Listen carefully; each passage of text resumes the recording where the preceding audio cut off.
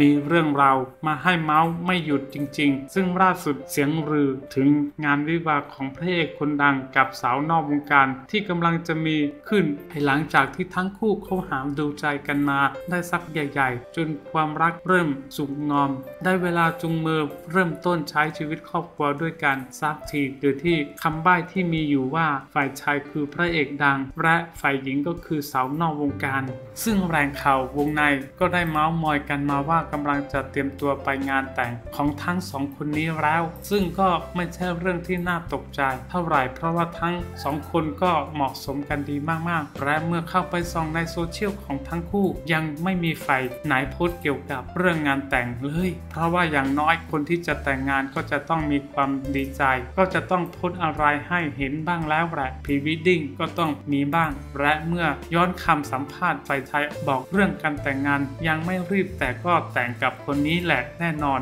ร้อยเปอร์เซ็นต์เอาเป็นว่าต้องรอเฉลยแล้วกันนะครับว่าจะเป็นคู่ไหนกันนะ